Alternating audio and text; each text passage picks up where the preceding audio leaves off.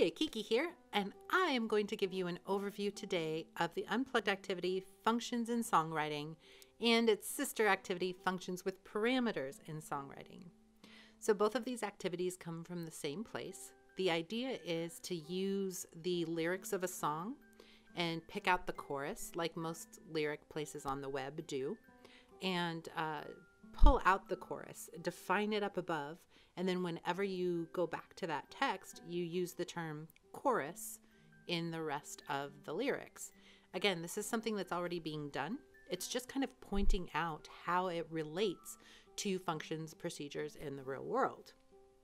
Uh, the same thing is sort of true then when we add the parameters in because there are songs that are relatively easy to use here where the chorus is almost exactly the same, but there's something that changes.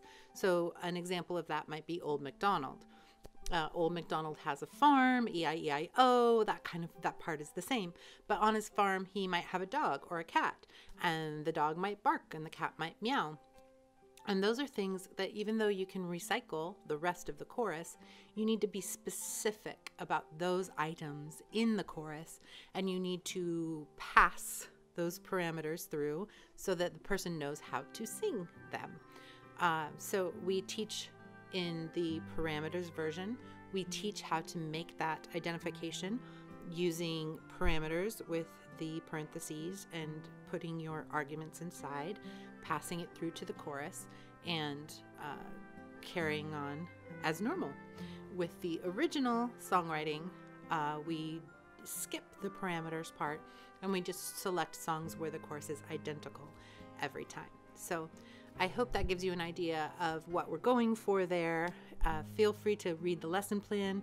There are some videos, other videos that you can watch. I will link those in the description box. If you have any questions or comments, please feel free to leave them in the box below or tweet me at Kiki versus IT and I will respond as soon as possible. Until then, happy coding.